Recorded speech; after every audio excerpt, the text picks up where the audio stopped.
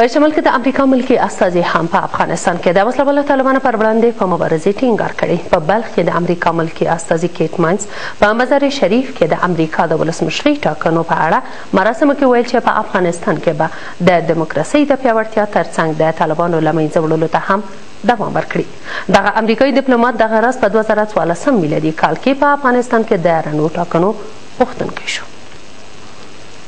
د امریکا د ولسمشرۍ په ټاکنو کې د بارک اوباما له بریالیتوب سره سم د افغانستان په شمال کې د امریکا یو لوړ پوړي ډیپلوماټ په افغانستان کې د خپلو هڅو په دوام ټینګار کوي په شمال کې د امریکا ملکی استازی ګیت مینس په مزار شریف کې ویلي چې واشنگټن په افغانستان کې د دیموکراسي د پیاوړتیا ترڅنګ د طالبانو په وړاندې مبارزې ته هم دوام ورکوي موږ په افغانستان کې خپل کار او همکارۍ ته دوام ورکوو او د دې ترڅنګ چې د افغان دولت د پیاوړتیا او په دې هیواد کې د دیموکراسۍ د بنسټیز کیدو او پیاوړتیا په برخه کې کار کوو، د طالبانو پر وړاندې مبارزې ته هم دوام ورکوو. موږ هڅه کوو چې په راتلونکي کلونو کې په بیلابیلو برخو کې د افغانستان سره خپلو اړیکو ته پراختیا ورکړو. and we have been with you from the beginning and we will remain with you in the future in the development of your. له بله خوا دغه امریکايي ډیپلومات په افغانستان کې د رڼو او عادلانه ټاکنو غوښتونکی دی. هغه له دې بهیره د امریکا او نړیوالې ټولنې د کلک مالي ملاتړ ډاډ ورکړ. موږ به یو نیم کال وروسته په افغانستان کې د ولسمشرۍ ټاکنې وګورو. زموږ تمه دا ده چې دا ټاکنې رڼې، ازادې او عادلانه وي او ټول خلک پکې برخه واخلي. امریکا او نړیواله ټولنه په دوه زره او څوارلس کال کې په افغانستان کې د رڼو او عادلانه ټاکنو په برخه کې همکاري کوي چې له دې بهیره مالي ملاتړ هم پکې شامل دی. د افغانستان د ولسمشرۍ ټاکنو ته یو نیم کال پاتې دی، له همدا اوسه داسې اندېښنې موجودې دي چې ښايي دا ټاکنې رڼې ترسره نه شي.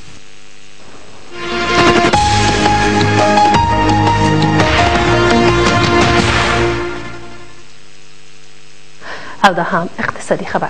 تر هغو چې په افغانستان کې فقر له منځه ولاړ نشي تر هغو به په افغانستان کې د سولې راتلل امکان نه لري. دا څرګندونې د افغان ولسمشر دوهم مرستیال کریم خلیلي په کابل کې د یوه کرنیز نندارتون د پرانیستلو پر مهال وکړې. نوموړي چې دغه نندارتون یې د کورنیو تولیداتو لپاره د بازارموندنې په برخه کې ګټور وباله زیاته یې کړه چې افغانستان باید خپل اقتصاد ته د کرنې او مالدارۍ له لارې وده ورکړي. بلخوا د کرنې وزارت هم دا ډول نندارتونونه د کورنیو تولیداتو او بازارموندنې دپاره ګټور بولي. نور حال د اسلم حجاب په رپورټ کې. د ولسمشر دوهم مرستیال محمد کریم خلیلی چې د کرنیزو محصولاتو په دغه نړیوال نندارتون کې برخه درلوده وویل د دغه ډول نندارتونونو جوړول د هیواد د داخلي تولیداتو ته په سیمه ییزه او نړیواله کچه د بازار موندنې په برخه کې ګټور بولي نوموړي زیاته کړه چې له همدې لارې کولی شو په هیواد کې تولیداتو، کارموندنې او د فقر له منځه وړلو ته زمینه برابره کړو. نوموړي فقر او بې روزګارۍ د تاوتریخوالي او د سولې د نه پلي کیدو عامل بولي. کریم خلیلي زیاتوي چې که څه هم په تیر کې هم یو شمیر پرمختګونه شوي دي خو افغانستان باید ځان تر دوه زره او څلویښتم کال پورې د کرنې له لارې په خپلو پښو ودروي. به صلح که کمک میکنه همیش گفتیم و دید همه دولت بر ایست که فقر یک عامل. ناامنی هاست تا زمانی که فقر در کشور حاکم باشد زمینه استخدام و سربازگیری فرزندانی وطن در بانده های مافیایی و در باندهای تروریستی فراهم است ما هرچی در رشد زراعت خود که یک رکن مهم معیشت برای مردم افغانستان است ایر رشد نصیب شویم به مو اندازه فقر کاهش میده. د کرنې او مالدارۍ وزیر محمد اصف رحیمي وايي، په تېرو درېیو کلونو کې د کرنې په برخه کې ګڼ پرمختګونه شوي دي. نوموړی وايي، په تېرو لسو کلونو کې یو اعشاریه دوه میلیونه هکتاره ځمکه خړوبې ده، چې تېر کال دا کچه دوه اعشاریه اته میلیونه هکتاره ځمکې ته رسېدلې ده. نوموړي هم دغه نندارتون د سیمې او افغان کروندګرو او سوداګرو تر منځ د اړیکو د پیدا کولو له پاره ګټور بولي. طبیعی است که این گونه نمایشگاهها همه پیشرفتهایی را که در بخش زراعت صورت گرفته است و همه فرصتهایی را که این سکتور تقدیم مینماید انعکاس نمیدهد. د کرنې وزارت د مسئولینو په وینا تیر کال هم په ورته نندارتون کې د نړیوالو سوداګرو لخوا څلوېښت میلیونه ډالرو په ارزښت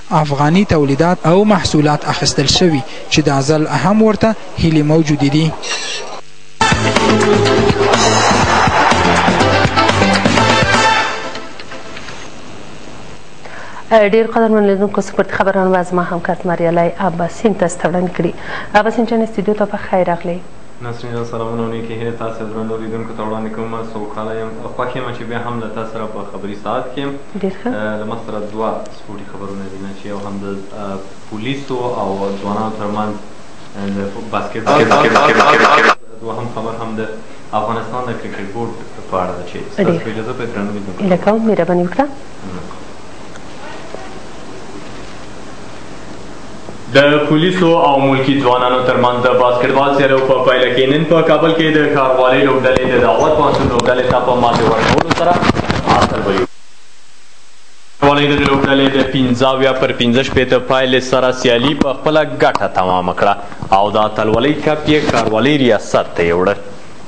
په دې سیالیو کې چې د دوه سوه دوه شمشاد زون په سپورټي سالون کې ترسره شوې، ټولو څلور لوبډلو برخه اخیستې وه چې د دې وزن زون او کابل پوهنتون لوبډلو پکې په ترتیب سره دریم او څلورم مقامونه خپل کړل. چارواکي وایي، ورته سیالۍ یې د افغانستان د ورزشکارانو د ملي اتحادیې په همکارۍ پیل کړي چې همدا اوس په لسو نورو ولایتونو کې هم دوام لري او دا سیالۍ کوي شي چې د خلکو او پولیسو ترمنځ واټن کم او پر پولیسو عامه باور زیات کړي.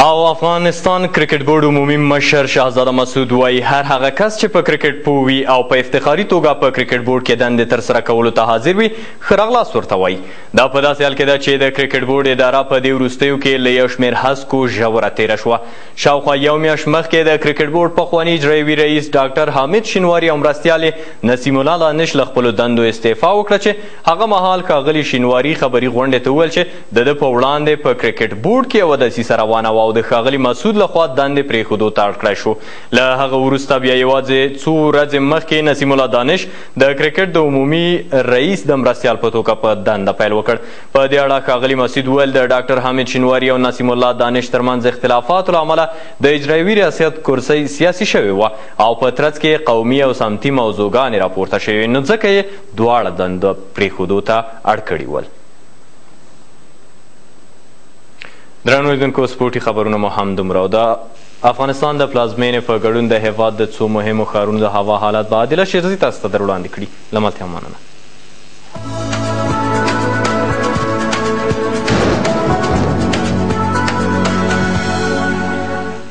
د ارینا ټلویزیون درنو لیدونکو سلام اوس هم پام کړئ د هوا د حالاتو وړاندوینې ته چې د سانتیګریډ په کچه اټکل شوي دي په کابل کې به سبا اسمان شین وي د تودوخې لوړ درجه یوویشت ټیټه درې هرات کې هم اسمان شین د تودوخې لوړ درجه دوه ویشت ټیټه نهه